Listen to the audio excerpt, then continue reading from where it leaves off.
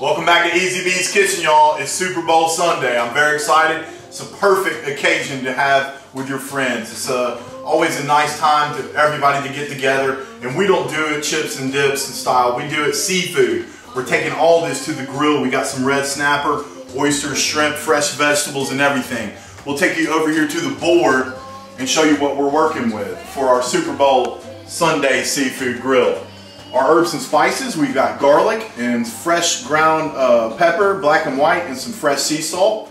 Our veggies, we got cabbage, onion, and sweet potato. And the star of our show today, and everything that'll be going to the grill, is the red snapper, one whole. 16 oysters on the half shell. We've already opened them up. They're fresh Gulf oysters. And fresh shrimp, and we're gonna have head on Grilled shrimp is always better head on. It's much sweeter and has much more of a sophisticated flavor.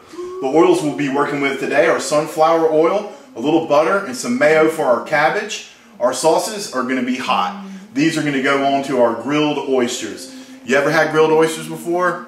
If you haven't, you don't know what you're missing. Follow us here at Easy B's Kitchen. My name's Tim Broxton. I got my trusty man, film man Drew Hollingsworth with us today, and we're going to take you outside on a beautiful Sunday, Super Bowl Sunday that is. It's hard to think of a better accompaniment to seafood than cabbage. This is going to make a beautiful slaw. We've grated it simply and added uh, our mayo, and we have our salt and white pepper, fresh ground white pepper. And we're just going to take that in and fold it in. We're going to do this first thing because I personally and like other people, like my cabbage cold. So once we get all this stirred together, we're going to stick it in the fridge and it's going to be ready when all the seafood comes off the grill. Another perfect, perfect accompaniment for seafood are sweet potatoes. They're high in antioxidants, they're low glycemic, and they're full of iron and minerals. Good for you foods, and they're oh so good. You're just going to take a little bit of olive oil and you'll drizzle that all across this whole group of potatoes. And we're gonna wait to salt and pepper them until they come out of our oven. They're gonna need about 30 minutes in a 350 oven. So while we put our seafood on the grill, we're gonna have this in the oven roasting. And man, I can't tell you how good these are. This is fresh Gulf snapper. When you're at your local seafood market, you wanna look at the eyes of the fish. It's kind of like looking at your girlfriend or boyfriend. The eyes will tell it all. These are clear, not cloudy.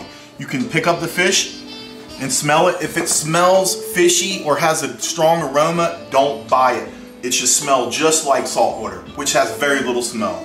We're gonna take some sunflower oil.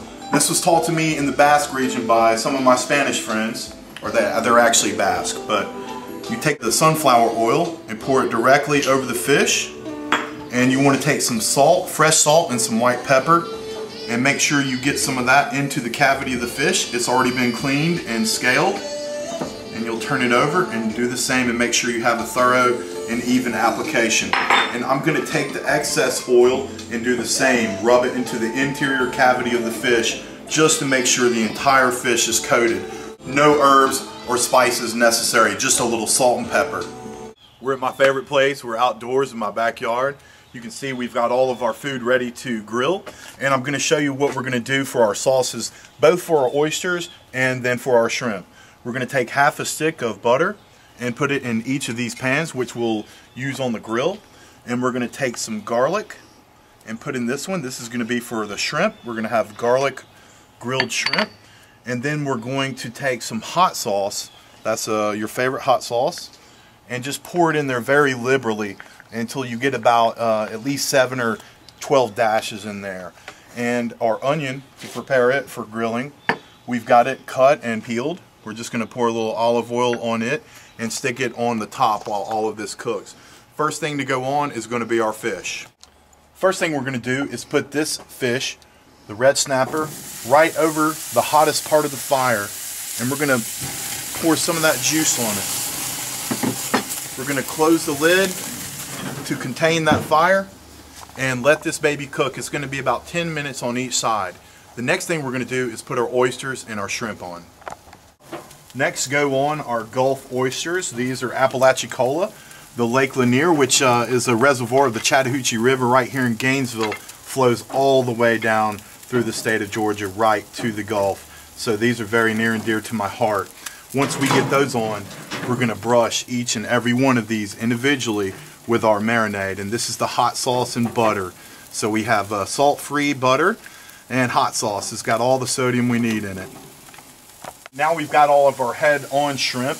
We've moved the fish off the hottest part of the grill and we're gonna take our butter sauce and we're just gonna stir it around a bit and pour it right on. And you can see you have to be careful. This could cause a, a big fire, but right now it's just creating smoke and smoldering. Absolutely beautiful. Now you can see we've just put our peeled onion on. The oysters are up top, so they'll cook slowly, and the shrimp down below, and the fish right over the direct heat. And we have a little bit of our reserve sauce to continue to baste these oysters with. Look at everything on the grill. Everything's coming along beautifully. The fish has now been on this side for about 10 minutes. We're going to very carefully flip it over and look at that. Gorgeous grill marks, everything. The flavors are going to be incredible. Just turning all of our shrimp.